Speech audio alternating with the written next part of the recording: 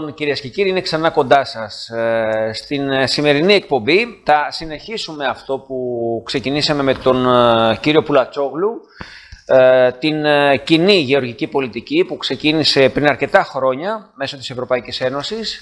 ενταχθήκαμε ως χώρα.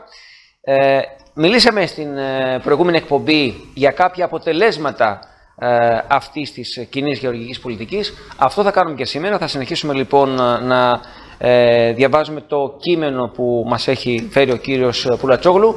Ε, γι' αυτό λοιπόν καλώς στο στούντιο ευθύς αμέσως τον ε, κύριο Πουλατσόγλου. Ε, κύριε Πουλατσόγλου, καλώς ήρθατε ξανά στο στούντιο. Καλώς σας βρήκα κύριε Σουφλερέ. Ευχαριστώ για την πρόσκληση και να χαιρετήσω με τη σειρά μου όλους τους φίλους τηλεθεατές και ακροατές της εκπομπής σας. Είχαμε πει την προηγούμενη φορά, είχαμε φτάσει μάλλον, ε, δεν είχαμε προχωρήσει πολύ, ήμασταν στο άρθρο 1 και μιλούσαμε για τις ε, ποσοστώσεις και είχαμε αναφέρει κάποια παραδείγματα. Ε, να ξεκινήσουμε από εκεί. Ναι, θα ξεκινήσουμε από εκεί. Απλώς τώρα ήθελα να κάνω μία εισαγωγή όσο αφορά... Ε, βλέπουμε καθημερινά και το διαπιστώνουμε όλοι μας ότι τα αγαθά βλέπουμε να συμπαρασύρουν το ένα το άλλο, ξεκινώντας από τις πρώτες ύλες για την αγροτική παραγωγή, την κτηνοτροφία, τα σιτηρά, φτάνοντας μέχρι την απογείωση των τιμών στο ράφι, και, αλλά και τις ελλείψεις που πλέον είναι εμφανείς. Έτσι. Αυτό το αντιλαμβανόμαστε όλοι. Σωστά μέχρι εδώ; Ναι, έχουν παρατηρηθεί τέτοια φαινόμενα, σωστά. Μπράβο, ναι. Αλλά εμείς στη γνωμοδότηση που είχαμε σταματήσει, είχαμε μπει σε ένα φαύλο κύκλο που μιλούσαμε για ότι υπάρχουν πλεονάσματα και ότι η μεταρρύθμιση ήρθε γιατί για να βάλει περιορισμούς στην παραγωγή κρασιού, ε, σειρά θέσπισης ποσοστώσεων στο γάλα και πάμε σε περιορισμούς στα επίπεδα παρέμβασης στα σιτηρά. Αλλά βλέπουμε ότι παρεμβαίνουν όχι μόνο στο κρασί και στο γάλα, αλλά βλέπουμε μπαίνουν και στα σιτηρά. Που αν, αν, είναι αυτό, αυτό είναι αιτία πολέμου. Δηλαδή να μην έχουμε ούτε αλεύρι για ψωμί, έτσι. Γιατί δεν γίνεται εμείς να κάνουμε εισαγωγές τώρα στάρι από τον Καναδά. Και όταν μια χώρα δεν παράγει ε, το, το πρώτο βασικό ε, συστατικό, το, ε, το συντάρι, δεν μπορεί να, ε, δεν μπορεί να, είναι, ε, να έχει αυτάρκεια, άρα εξαρτάται, εξαρτάται από κάποιον άλλον. Και αυτό είναι πολύ ε, δυσμενή ε, η θέση που μπαίνει η χώρα. Θα ήθελα λίγο να εμφανίσουμε στο, ναι. στο control να, να, να, να βάσει λίγο τη γνωμοδότηση, να μπορούν να τη δουν και οι πολίτες, στο να μπορούμε να, να βλέπουν και αυτοί το τι διαβάζουμε για να μην νομίζουν ότι είναι αποκύματα της φαντασίας μας αυτά. Σωστά όπως έχουμε πει πάντα, εμείς μιλάμε με στοιχεία που μπορεί και ο ίδιος ο τηλεθεατής μας να, ε, να ψάξει και να βρει. Όχι γιατί όλοι λοιπόν- ζουν σε ένα μικρό κόσμο, ότι δεν μπορούμε να κάνουμε τίποτα και ότι έτσι είναι τα πράγματα και τελικά ζούμε ένα Matrix που σε αυτό το Matrix ζούμε σκεμμένα γιατί κάποιος μας πέρασε εμάς ότι εμείς πρέπει να εκτελούμε αυτά που μας λένε οι πολιτικοί. Ναι, αλλά χωρίς να φιλτράρουμε, χωρίς να δούμε με ποια, για, για ποιο λόγο γίνανε όλα αυτά, ποια ήταν η ανάγκη να δημιουργηθεί αυτό. Γιατί όταν βλέπουμε ότι τα αγαθά συμπαρασύρουν το ένα το άλλο, ανεβαίνουν οι τιμές και έχουμε λείψει στα ράφια, για ποιο λόγο να μπαίνουμε σε μια τέτοια πολιτική και να κόβουμε την παραγωγή; Ποια ήταν η ανάγκη αυτή; Ο Αν δεν ήταν Ορίστε. Ο, ο πολίτης, κύριε Πουλατσόγλου, έχει απομακρυνθεί από τα ε, τραπέζια των αποφάσεων. Επομένως, όλοι αυτοί οι οποίοι παίρνουν τις αποφάσεις ε, κόβουν και ράβουν. Έχουν και το καρπούζι και το μαχαίρι. Εγώ δεν θα συμφωνήσω με αυτό, κύριε Σουφλερέ, ότι έχουν το καρπούζι και το μαχαίρι, γιατί ο πολίτης δεν είναι εκεί. Όταν, όταν ο πολίτης πραγματικά στηθεί όπως πρέπει και ξέρει και γνωρίζει επί παντός επισυζητούντο το τι συμβαίνει στο χώρο που ζει και βιώνει, πραγματικά δεν θα έχει κανένας ούτε καρπούζι ούτε μαχαίρι. Θα αποφασίζει η δημόσια διοίκηση και θα εκτελεί εκτελεστική εξουσία. Αυτό πρέπει να γίνει. Γι' αυτό γίνονται όλα αυτά, για να πάρει τη γνώση ο πολίτης, ώστε να μπορεί να πάρει τη θέση που πρέπει. Γιατί η θέση που πρέπει δεν είναι να κάνει ο πολίτης τον ήλωτα και τον επέτη. Η θέση που πρέπει είναι εκεί να αποφασίζει στο τι θα εκτελέσουν αυτούς που έχει αυτός ο ίδιος ορίσει ως εκτελεστική εξουσία. Ναι, αλλά είναι, εξουσία... είναι ένας φαύλος κύκλος όμως και αυτό, αλλά για να γίνει αυτό θα πρέπει πρώτα να έχει τη γνώση, για να μπορεί να κάνει. Αυτές εκπομπές κύριε Σουφλερέ, για να πάρει τη γνώση. Γι' αυτό είναι ένας δρόμος, για αν θέλετε για τον κάθε πολίτη, να μπαίνει και να βλέπει με τα ίδια του τα μάτια και να να βλέπει όχι μόνο τις αποδείξεις, αλλά μπαίνεις και σε μια τέτοια διαδικασία της μελέτης αυτών των αποδείξεων για να μπορεί να οδηγηθεί πραγματικά στην αλήθεια. Χωρίς να τον επηρεάζει κανένας. Γιατί βλέπουμε καθημερινά, ε, όταν ανοίγουμε τηλεόραση, δημοσιογράφους που στο τέλος δεν κάνουν δημοσιογραφία. Αυτό που κάνουν είναι να σε πείσουν για κάτι που θέλουν αυτοί. Με έναν τέτοιο τρόπο, χωρίς καμιά αποδεικτική διεργασία, απλά γιατί το είπε. Δεν πρέπει να συμβαίνουν αυτά. Πραγματικά είναι τραγικά γιατί προσβάλλουν την νόησή μας. Όταν ο πολίτης έχει την ε, γνώση, δεν μπορεί κανένας δημοσιογράφος και κανένας ε, άλλος ε, άνθρωπος που του λέει κάτι ε, να τον μεταπίσει από τη στιγμή που έχει ο ίδιος ο πολίτης, ο ίδιος άνθρωπος τις αποδείξεις. Σωστά. Να συνεχίσουμε λοιπόν. Βεβαίως. Είχαμε φτάσει μέχρι τη θέσπιση ποσοστώσεων γάλακτος του 1984 και συνεχίζει και μιλάει για περιορισμούς στα επίπεδα παρέμβασης στα σιτηρά του 86 και 87 και στη θέσπιση νέας δημοσιονομικής πειθαρχίας το 1988. Δηλαδή, δεν φτάνει να μας βάλουν περιορισμούς, δεν, δεν είμαστε καν σε θέση να το συζητήσουμε. Μπαίνουμε σε ένα καθεστώς πειθαρχίας από το 88 και μετά, συνοδευόμενοι λέει από την εισαγωγή οικονομικοί σταθεροποιητές σε όλες σχεδόν τις κοινές οργανώσεις αγοράς και μέτρα για την ενθάρρυνση των γεωργών να αφαιρέσουν τη γη από την παραγωγή. Πραγματικά αυτό είναι εγκληματικό. Βλέπουμε να μπαίνουν με μια ευρωπαϊκή οδηγία σε όλες τις κοινές αγορές, δηλαδή ε, για να βγει αυτή η κοινή αγορά για όλα τα κράτη-μέλη της, ε, μέλη της Ευρωπαϊκής Ένωσης, είχαν δημιουργηθεί στην αρχή για το κάθε κράτος μέλος είχε, είχε δημιουργηθεί μια κοινή αγορά που το ίδιο το κράτος μέλος όριζε αυτή την κοινή αγορά. Δηλαδή είχαμε έναν εθνικό ε, προγραμματισμό. Βλέπουμε πλέον ότι αυτός ο εθνικός προγραμματισμός δεν ισχύει και έρχεται αυτή η μεταρρύθμιση στο να σπάσει όλες αυτές τις κοινές οργανώσεις αγοράς και να, να μπαίνουν μέσα στο εθνικό δίκαιο με μια οδηγία και να επιβάλλουν να αφαιρέσουν τη γη από την παραγωγή στους γεωργούς. Και όταν δεν έχεις, ε, και όταν δεν εκτελείς ουσιαστικά, όταν δεν πειθαρχείς, όπως λέει εδώ ουσιαστικά η λέξη, έχεις και ποινή, όπως είπαμε και στην προηγούμενη εκπομπή. Να πω κάτι ε, λίγο κύριε Σουφλέρε, γιατί αυτό δημιουργεί πολλά ερωτηματικά. Ναι. Όταν εμείς χρωστάμε στην Ευρωπαϊκή Ένωση εξωτερικό δημόσιο χρέος σε όλους τους δανειστές και κάποιος, εμένα το Γεωργό, μου κόβει το δικαίωμα να παράγω και με αφαιρούν τη γη από την παραγωγή, εγώ πώς θα παράξω κύριε Σουφλερέ ώστε να βγάλω ένα εισόδημα για να μπορώ να αποπληρώσω ως κράτος πλέον τους δανειστές μου; Μήπως αυτό πρέπει να γίνεται και να χρωστάω πάντα και να δανείζομαι πάντα και να είμαι σε έναν καθημερινό δανεισμό ώστε να μην μπορώ να απογκλωβιστώ ποτέ και να χρωστάω εγώ και οι επόμενες γενναίες και να αυτό, υπάρχει ένα τέτοιο κλείδωμα; Αυτό είναι ένα μεγάλο ερωτηματικό, κύριε Πουλατσόγλου. Ναι, γιατί ε... δεν γίνεται τώρα κάποιος να χρωστάει, αλλά να τον κλείνει στην επιχείρηση. Πρέπει να τον βοηθήσεις να ανεβάσει την επιχείρησή του για να πάρεις και εσύ αυτά που, το, που σε χρωστάει. Αν στα χρωστάει.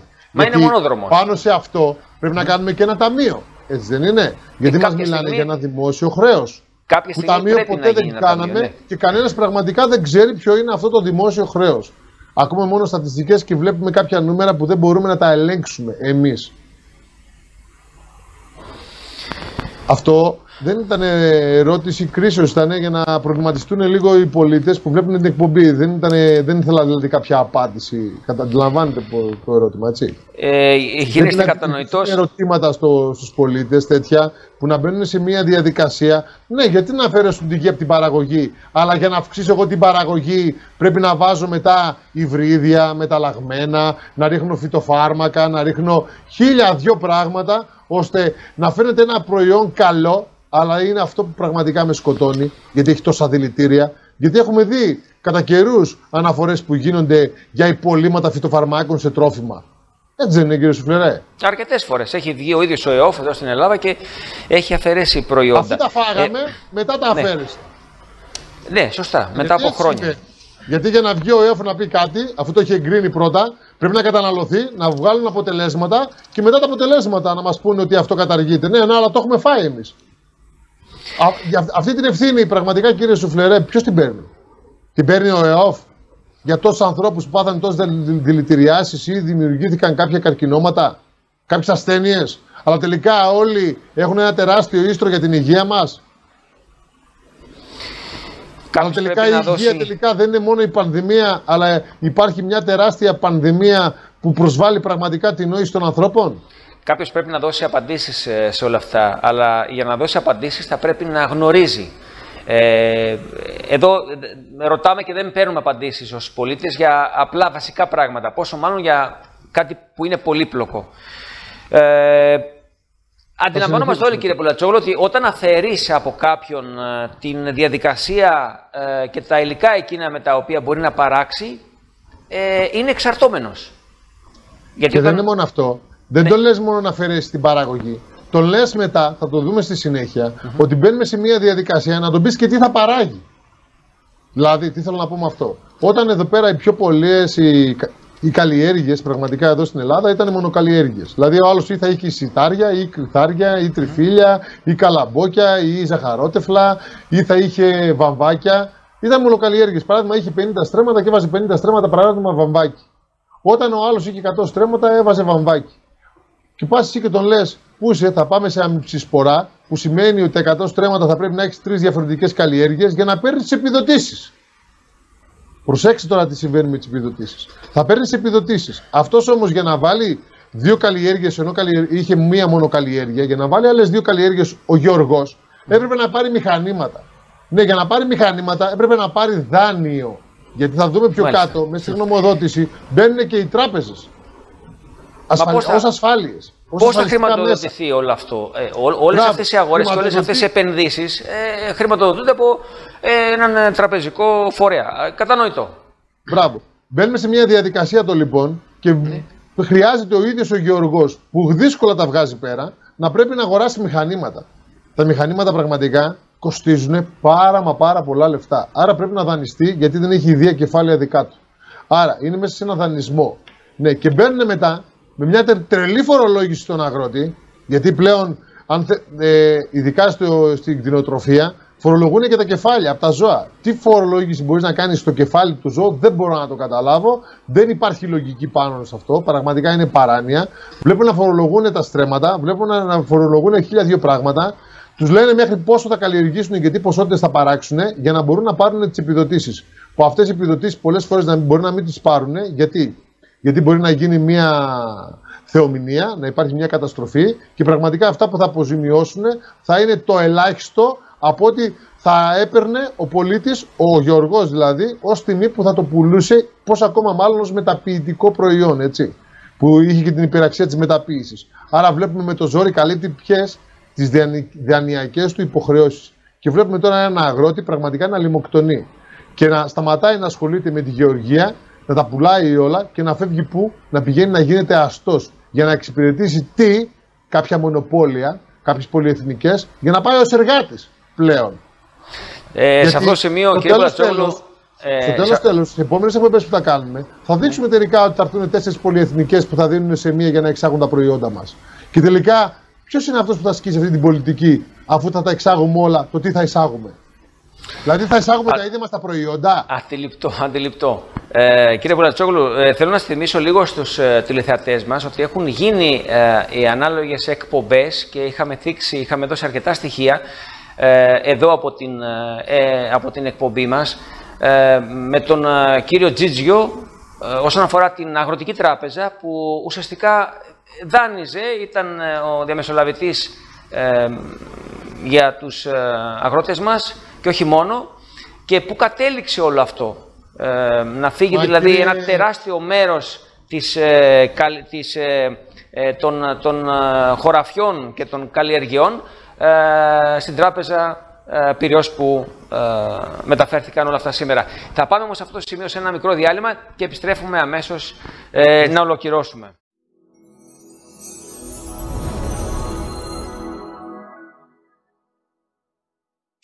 Ένα ιερό ελάνιο κείμενο μοίησης στη γνώση και στην αλήθεια ήρθε στην κατοχή κάθε Έλληνα ανθρώπου από τον δημιουργό του Αρτέμις Σόρα. Ένα ιερό ελάνιο κείμενο που μέσα από τις τρεις θεματικές του ενότητες αποκαλύπτονται και αποδεικνύονται τεράστια μυστικά της ίδιας της οντολογίας, του σκοπού της ύπαρξης και του σχεδίου της δημιουργίας των Έλληνων ανθρώπων. Μυστικά που οι αποστάτες δυνάστες των ανθρώπων κρατούν κλειδωμένα για να μην βγει ποτέ ο άνθρωπος από το λίθαργο της αμάθειας και του ψεύδους. Μελετώντας αυτό το ιερό, ελάνιο κείμενο, ο καθένας μπορεί να αντιληφθεί, να διαπιστώσει και να κατανοήσει το παρόν και το ολικό παρόν όπου είναι τα πάντα, διότι όλα και τα πάντα δημιουργούνται στο παρόν, όπου το ίδιο το παρόν είναι οι ίδιοι, οι πανίεροι μοναδικοί, θείοι δημιουργοί Α.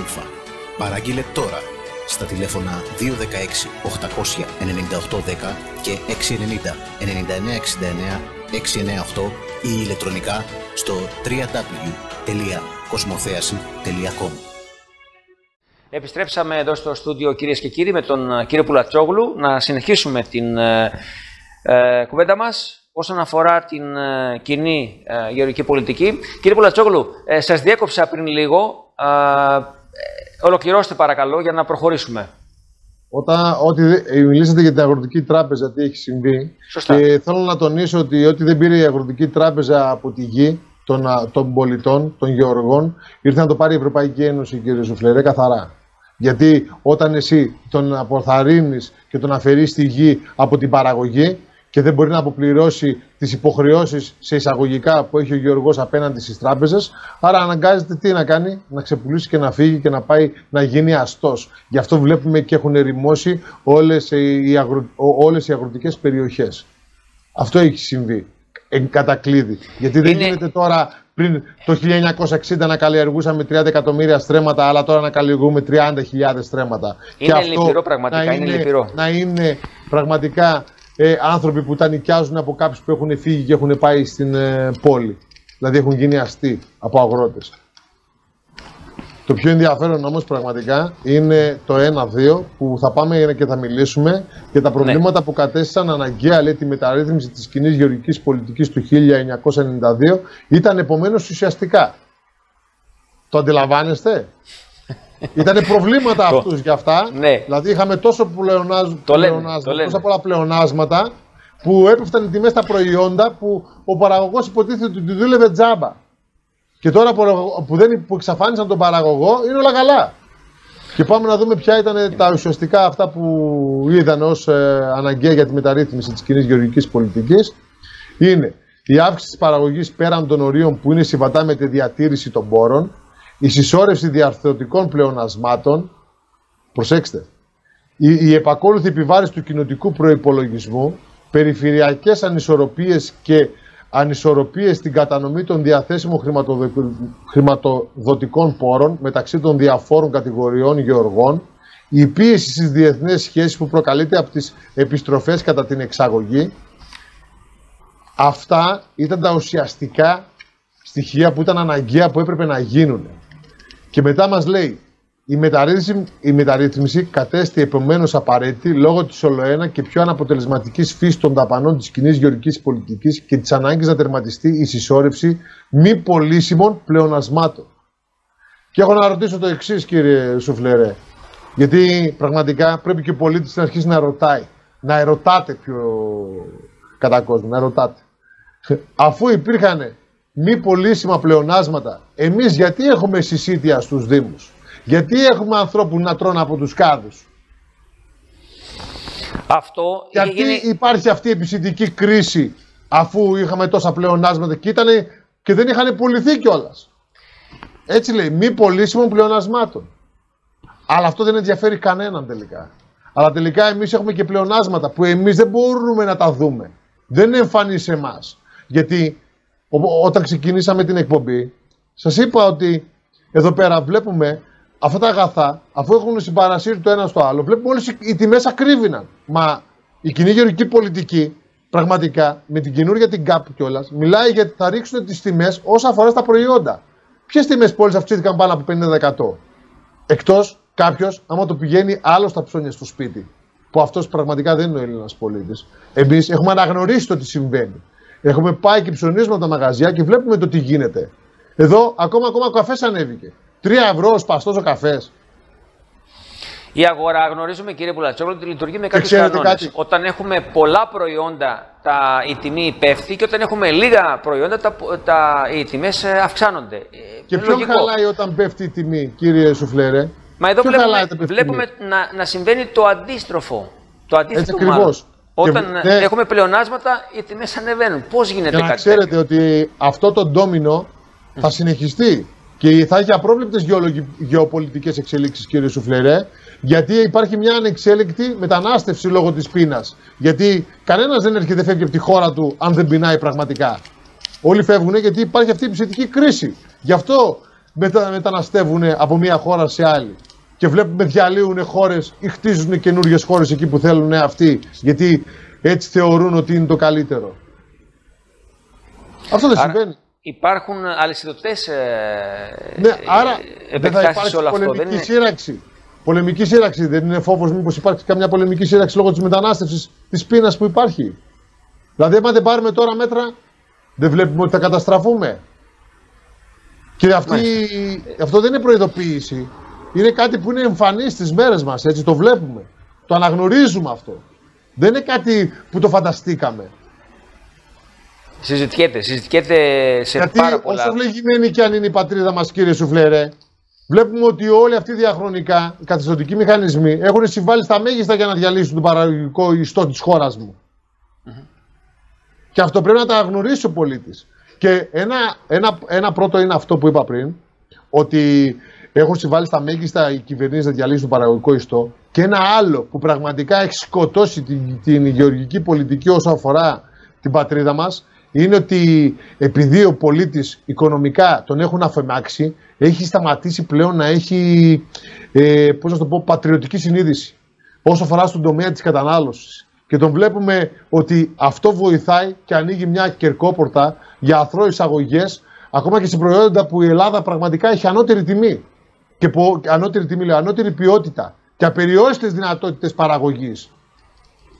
Σε πολλά προϊόντα. Το βασικό στοιχείο, Να μην κύριε πω για την Πουλατσόγλου, ελιά, σε να έναν μην πω για το καταναλωτή. ελαιόλαδο, να μην πω για, τα, για το γάλα, να μην πω για τα. Είναι, είναι πολλά προϊόντα. Είναι, παμπάκι. είναι πάρα πολλά προϊόντα. Αλλά Ναι, αλλά προσέξτε, αυτή η πατριωτική, η έλλειψη πατριωτικής ευαισθησίας από τους καταναλωτές, κύριε Σουφλέρε, βλέπουμε ότι αποθρασύνουν τις βιομηχανίες τροφίμων και φέρνουν κατώτερης ποιότητας πραγματικά προϊόντα, μεγιστοποιούν το κέρδος τους, προσέξτε, με εισαγωγές υποδιέστερων προϊόντων, πραγματικά ποιοτι- σε θέμα ποιότητας, και γνωρίζουν ότι δεν θα έχουν συνέπειες όσον αφορά στους τζίρους αυτές που καταγράφουν αυτές οι πολυεθνικές. Μα είναι, είναι αντιληπτό, κύριε Πουλατσόγλου, ότι ό- όλη η αγορά προσαρμόζεται στα, στα δεδομένα που προκύπτουν. Αλλά και Μπράβο. από την άλλη πάμε πλευρά. τώρα στην ερώτηση. Και πάμε να, πάμε, να πάμε και στην ερώτηση όμως. Όταν Ε, μια χώρα όμως έχει εξαρτηθεί ναι. σε τέτοιο βαθμό από τις αγωγές, κύριε ε, Σουφλερέ, συνθλίβοντα έτσι όλο αυτό το εμπορικό ισοσύγιο, πραγματικά που είναι στο χείλος του γκρεμού τώρα μιλάμε έτσι, γιατί το βλέπουμε. Δεν μπορούμε να κλείσουμε τα μάτια μας. Αυτή η διακύμανση των τιμών θα προκαλέσει αντιληπτικέ αντιδράσεις όσον αφορά τη γραμμή εφοδιασμού. Έτσι δεν είναι; Χωρίς χωρίς να υπάρχει μετά χρόνος αντίδρασης για να ενισχύσουμε την τόπια παραγωγή, γιατί η τόπια παραγωγή δεν θα υπάρχει, γιατί την έχουν αφεμάξει. Γι' αυτό βλέπουμε να υποβαθμίζεται ο, ο αγροτικός χώρος και να πηγαίνουν όλοι να γίνονται αστεί.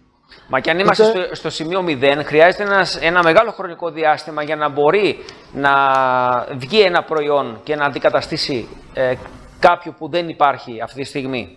Μπράβο. Ε, και ή βλέπουμε τώρα έρχεται στη από το συνέχεια. εξωτερικό. Και τώρα στη συνέχεια τι γίνεται; Βλέπουμε να δίνουμε εμείς για να καλύψουμε τα πάντα, για να καλύψουμε τις ανάγκες μας με εισαγωγές. Στο τέλος δεν θα υπάρχουν προϊόντα από την Ευρωπαϊκή Ένωση να εισάγουμε, άρα θα πάμε σε εξωτερικές αγορές. Και εκεί πέρα μπή- μπήκανε και βάλανε, προλάβανε από την Ευρωπαϊκή Ένωση αντισταθμιστικά μέτρα, που δεν μας βολεύει να πάρουμε γιατί έρχονται στην ίδια τιμή με το ευρωπαϊκό προϊόν. Και δεν θα μπορούμε, ο παραγωγικός ιστός δεν το συζητάμε στην Ελλάδα, τον έχουν κατακρεουργήσει, τον έχουν ε, σπάσει στα δύο, δεν υπάρχει για να καλύψει τι ανάγκες μας. Και θα έχουμε μια χώρα που πεινάει. Και όταν πεινάει μια χώρα, κύριε Σουβλερέ, γνωρίζετε ότι είναι πολύ ευάλωτη και σε εκβιασμούς και σε εξωτερικές απειλές. Και θα πρέπει να μας κουνάνε το δάχτυλο κάποιοι και εμείς να υπακούμε.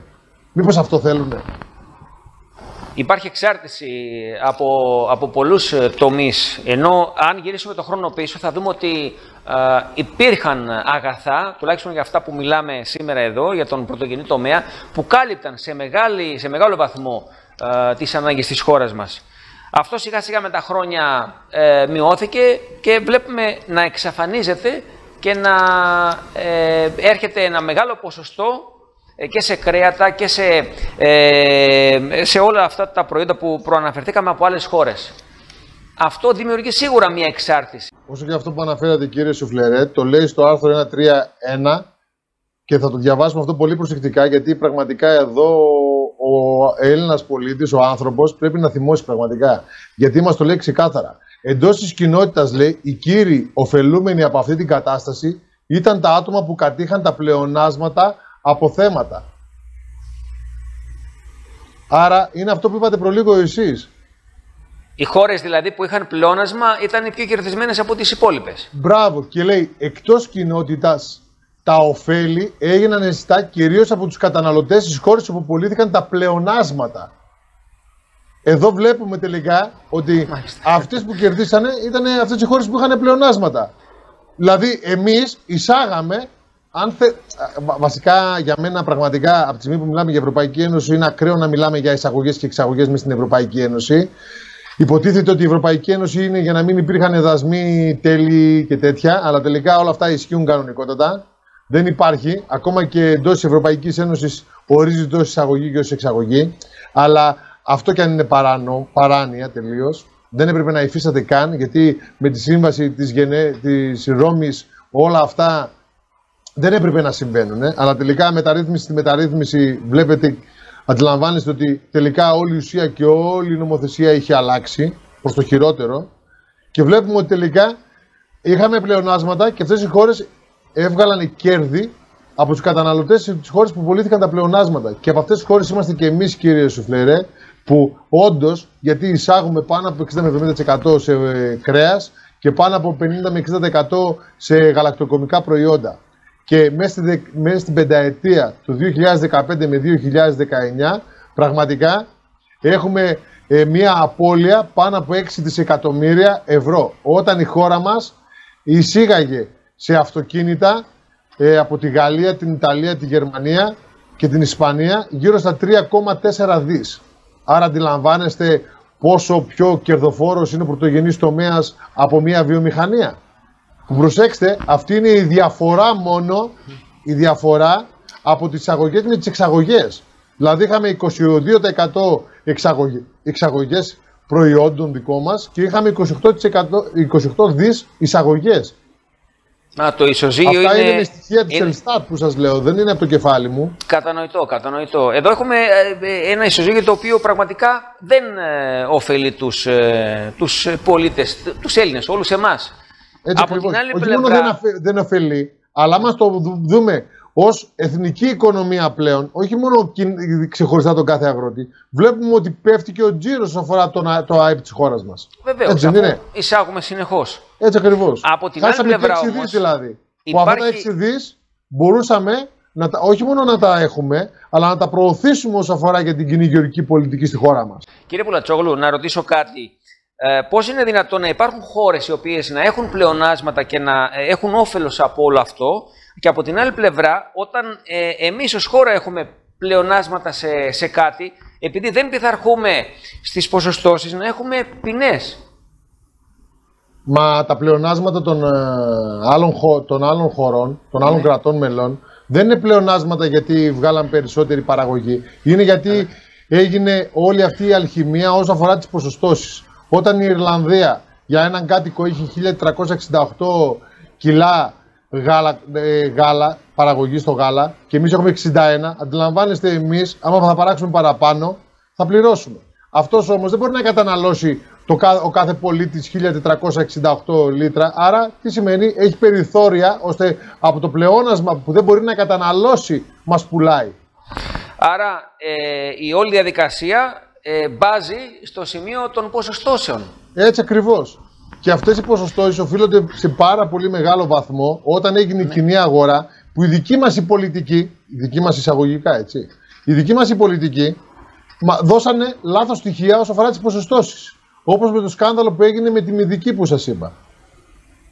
Μάλιστα. Άρα δηλαδή πώς είναι δυνατόν ένας, ένας Ολλανδός να πίνει περισσότερο γάλα ας πούμε, από, τους, ε, από, του- από τον Έλληνα; Έτσι, έτσι ακριβώς. Γιατί άμα θέλουμε να μιλήσουμε με, ποσ- για ποσοστά όσο αφορά, πρέπει να μιλήσουμε για ποσοστά ανακάτοικο σε όλη την Ευρωπαϊκή Ένωση. Δεν μπορεί να ξεχωρίζεις τον Άγγλο ότι θα πίνει περισσότερο παράδειγμα γάλα ή θα καταναλώνει περισσότερα γαλακτοκομικά προϊόντα από ότι ο Έλληνας. Άρα πρέπει να υπάρχει μία ποσόστοση κοινή για όλους με βάση τον πληθυσμό. Άρα θα πρέπει να πάμε κατά κεφαλήν το ίδιο όλες οι χώρες για να μπορούν να έχουν αυτάρκεια προϊόντων, πόσο μάλλον για τη χώρα τους. Πραγματικά είναι αιτία πολέμου για μας τους Έλληνες να εισάγουμε κοτόπουλα ή βοδινά από τη Γαλλία για να ταΐσουμε το στρατό μας. Ούτε το στρατό μας δεν έχουμε να ταΐσουμε, το γνωρίζετε. Ούτε το στρατό μας. Δηλαδή, Ναι. κάνουμε εισαγωγή για, να, για να δώσουμε ε, σε βασικές ανάγκες, επειδή δεν έχουμε την ποσόστοση που θα ναι, μας και άμα κάλυπτε. δεν εισάγουμε, δεν, αν δεν εισάγουμε κρέατα, κοτόπουλα και γαλακτοκομικά προϊόντα, δεν θα έχουμε να ταΐσουμε ούτε το στρατό μας. Κύριε Πραγματικά Παλατσόγλου, ε, κλείνοντας, θα ήθελα να μου πείτε το εξής. Ε, αυτές οι ποσοστώσεις αλλάζουν; Μπαίνει ε, κάποια στιγμή πάνω στο τραπέζι ξανά όλο αυτό για να το συζητήσουμε; Οι ποσοστώσεις πλέον έχουν Ναι. σταματήσει τα πιο πολλά προϊόντα, ε, αλλά το θέμα είναι ότι η ζημιά έχει γίνει. Όταν βγαίνει μια μετα- μεταρρύθμιση το 92 και τώρα βαδίζουμε στο 2021, το αντιλαμβάνεστε, στο 2022, αντιλαμβάνεστε ότι η ζημιά έχει γίνει. Η γεωργική, ο παραγωγικός ιστός όσον αφορά τη γεωργική, τη γεωργική πολιτική έχει μηδενιστεί. Έχουν αδειάσει όλοι οι αγροτικοί χώροι. Έχουν, πάει, γίνει, έχουν γίνει όλοι αστεί. Και αυτοί που μείναν πλέον αγρότες έχουν μεγάλο πρόβλημα όσο αφορά την έλλειψη εργατικού προσωπικού. Δεν μπορούν να βρουν εργάτες γιατί έχουν φύγει όλοι στις πόλεις. Και οι άλλοι που ήταν εδώ φύγανε από, και από τις πόλεις και πήγαν στο εξωτερικό. Σπουδαγμένα μυαλά δικά μας που πραγματικά έχουν με, Όντως. με, Έχουν φύγει πάρα πολλά μυαλά, ελληνικά έτσι μυαλά. ακριβώς. Και έχουν αναγνωριστεί στο εξωτερικό, αλλά εμείς εδώ στην Ελλάδα δεν μπορούσαμε να τους αναγνωρίσουμε. Δεν είναι ηρωνικό. Πραγματικά η ίδια η Ελλάδα να, να διώχνει τα παιδιά της. Πώς είναι δυνατόν να Αλλά συμβαίνει τελικά, κάτι τέτοιο; αλλά τελικά για να μην υπάρχει αυτή η έλλειψη εργατικού προσωπικού, να πηγαίνουμε γρήγορα σε ηθαγένειες, να δίνουν χαρτιά σε χρόνους εξπρές όσο αφορά και την καταπολέμηση της γραφειοκρατίας, στο να μπορούμε να πάρουμε αλλογενείς για να μπορούν να εργαστούν. Λες και εμείς τελειώσαμε. Κύριε ως Βλατσόγλου, παραγωγή. έχουμε πολύ δρόμο ακόμη. Είμαστε Και το ακόμη ξύμορο, στο πρώτο ξέρετε ποιο άρθρο. είναι, κύριε Σουφλερέ, το ξύμορο Ε, ποιο είναι και θα κλείσω με αυτό. Ναι, είναι ότι η για ελλείψη παράδειγμα. εργατικού προσωπικού πραγματικά ακόμα υπάρχουν και στον ΟΑΕΔ. Στο προσωπικό του ΟΑΕΔ. Βλέπουμε να παίρνουν προγράμματα με stage προσωπικό, να τελειώνουν αυτά τα προγράμματα και όταν λήξουν όλο αυτό το προσωπικό να μην υπάρχει, ώστε δεν μπορεί να εξυπηρετήσει τον πολίτη και βλέπουμε κάποιον να πήγαινε στην ανεργία, πραγματικά, να πηγαίνει να κάνει τα χαρτιά του άνθρωπος και να παίρνει ε, το επίδομά του μετά από τρεις και τέσσερις μήνες. Τόσο τραγικά είναι τα πράγματα στη χώρα μας. Και πρέπει Έλληνα πολίτη να το δεις αυτό. Και μετά είναι και κάτι άλλο που θέλω να πω. Ποιο είναι αυτό το κράτος που επιδοτεί την ανεργία; Όταν επιδοτείς την ανεργία, το μόνο που μπορείς να παράξεις είναι ανέργους. Δεν μπορεί δηλαδή το κράτος να, παρά... να, να επιδοτήσει την εργασία. Και αυτά τα λεφτά που είναι να δίνει για να τον έχει άνεργο, να τα δίνει και να δίνει και ο, ο ιδιώτης κάποια λεφτά κι αυτός, ώστε να πιάνει 1000-1200 ευρώ ο κάθε υπάλληλος, ο κάθε εργάτης, ώστε να μπορούμε να έχουμε και, προσέξτε, και μια μείωση της ανεργίας, αλλά παράλληλα μέσα από τους φόρους που θα έχουν όλοι οι πολίτες. Γιατί Κύριε όλοι οι πολίτες Πουλατσόγλου, πληρώνουν ε, φόρους. ε, είναι, είναι οξύμορες όλες αυτές οι εικόνες πραγματικά. Δεν μπορεί να το δεχτεί ένας ε, ε, λογικός νους.